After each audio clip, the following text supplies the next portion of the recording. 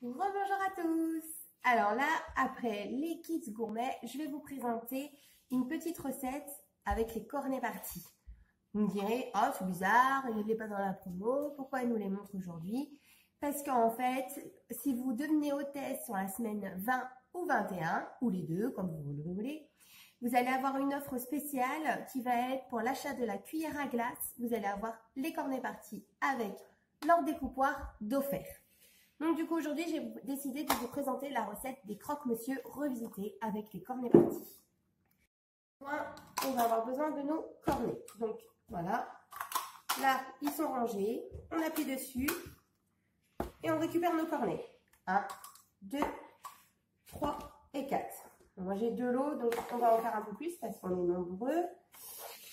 Alors, on les met de côté, on va avoir besoin de pain de mie.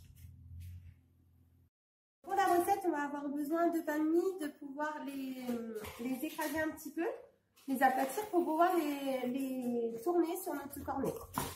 Donc du coup, pour ceci, je vais prendre le rouleau modulo et je vais venir comme ça les aplatir.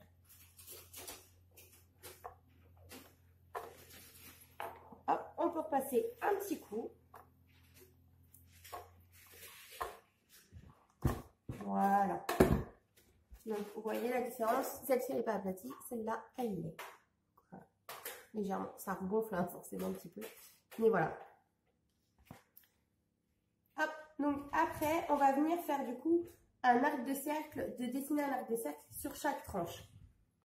Donc, on met notre pain, bien sûr, sur une planche à découper. On prend son couteau et on va venir faire un petit arc de cercle.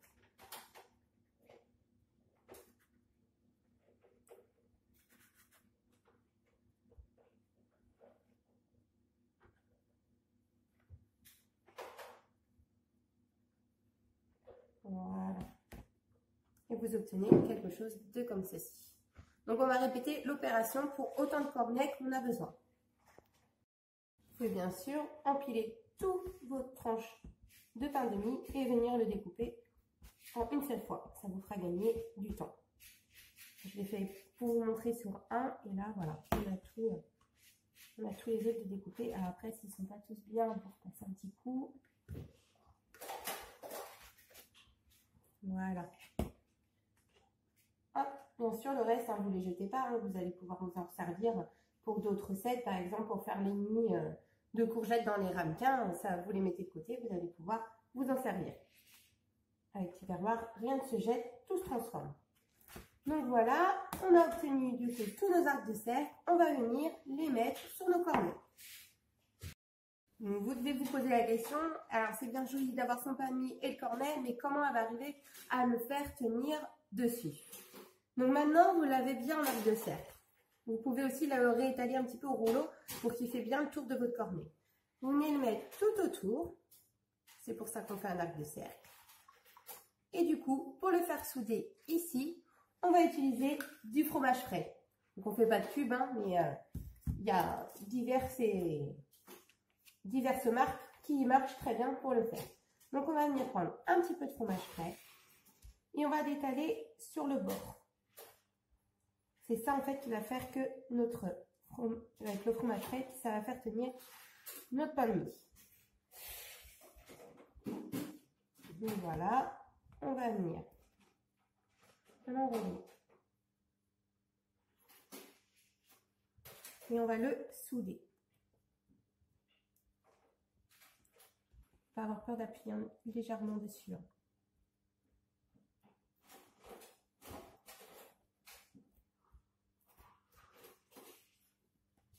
Voilà, notre cornet est dessus.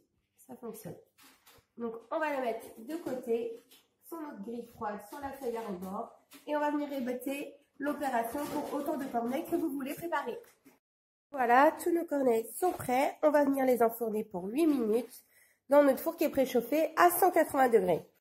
Il nous faut un mélange pour mettre dans nos, dans nos cornets de 150 g de jambon et 60 g de fromage. Il nous faut également de la béchamel. Donc du coup, je vais vous montrer comment la réaliser avec les secs du pichet. Donc la recette de la béchamel, elle se trouve dans ce livre-là. vous le retrouvez dans le catalogue de jeux d'enfance. Donc, on prend le lexique, sauce béchamel, page 33. Hop. Donc, la voici. Donc, on va se mettre en application. Elle est pour 700 ml. Nous, on n'a pas besoin d'autant. On a besoin de 165, 175 grammes. Donc, on va tout diviser par 4. J'ai fait fondre 6 grammes de beurre à 30 secondes à 600 watts.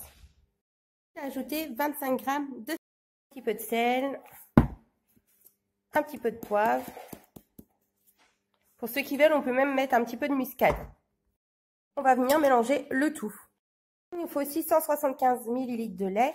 On va venir petit à petit en rajouter tout en mélangeant. On a fini de mélanger, on va venir le fermer et on va remettre à cuire 3 minutes 30 à 600 watts. On va venir mélanger le tout pouvoir mettre à l'intérieur de nos cornets. Donc voilà, j'ai démoulé les cornets, donc on va venir du coup mettre notre préparation à l'intérieur. On va les reposer sur notre feuille à rebord et on va venir les cuire à 180 degrés.